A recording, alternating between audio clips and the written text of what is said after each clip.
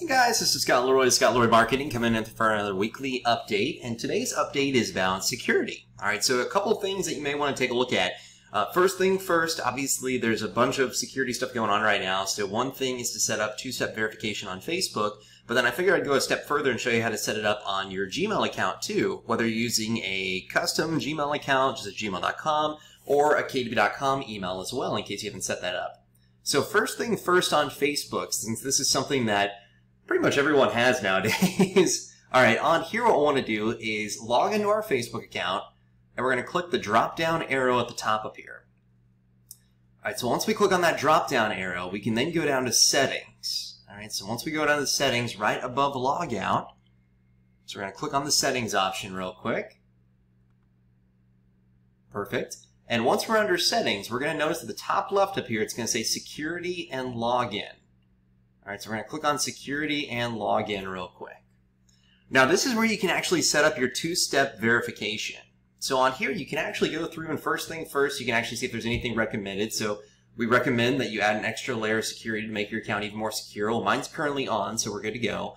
But then more importantly, you can actually see where you logged in. All right, so you can actually see how did you sign into this account and you can even change your password if you want to. Now, if you're using the same password for multiple accounts, I may highly suggest against that, just to be safe. All right, but in this case, if you want to change your password, you're definitely more than welcome to. But if you notice, there's a section on here that says two-factor authentication. That's going to be their two-step verification at the end of the day. In this case, as you can see, use two-factor authentication. All right, we'll ask for a code if we notice an attempted login from an unrecognized device or browser. Now, this is not going to block you if you're utilizing your app on your phone or on your tablet. All right, that'll constantly keep you signed in.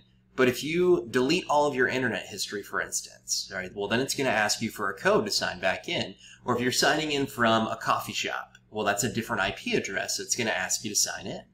All right, so in this case, if we click on this edit option, all right, you can actually go through and you can turn this on. So as you can see, I currently have mine turned on. And now I'm able to actually manage how I'm going to update this. So I can even set up where my phone will receive a text message or a call.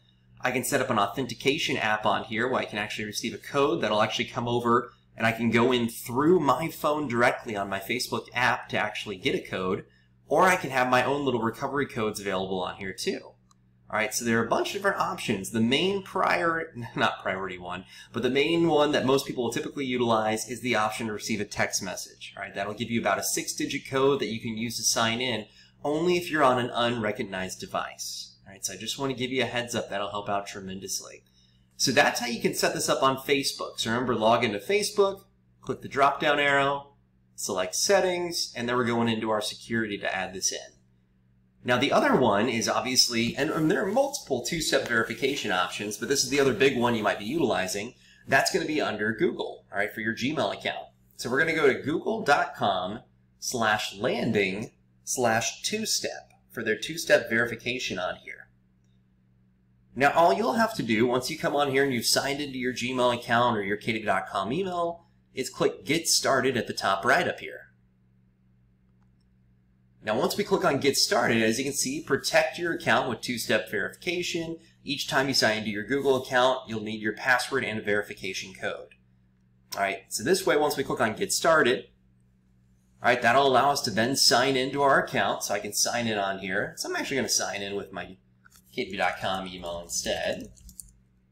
Gonna flip this around real quick. Hopefully that's the password. It's not. There you go. Awesome. All right, and then I can put inside my phone number on here. All right, so I can actually say, all right, let's add inside the phone number on here. We can receive a text to. I can send this over as a text on here. There are more options. So I'll click that next button real quick. It's going to send over a code for me to use, so be on the lookout for that code to come over. All right, so if you're doing this along, it'll also pop up. This is going to be another six-digit code to use, so I'll put that in. And voila, it worked. Now I have two-step verification, so I can turn this on, and I'm good to go.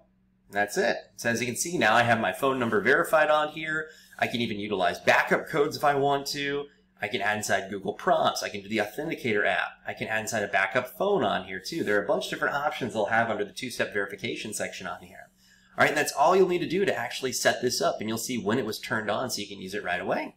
All right, so it's that simple to actually set up two-step verification or two-step authentication for Facebook and for your Gmail account or your KW.com email. So there you go. So that is your tech tip for the day.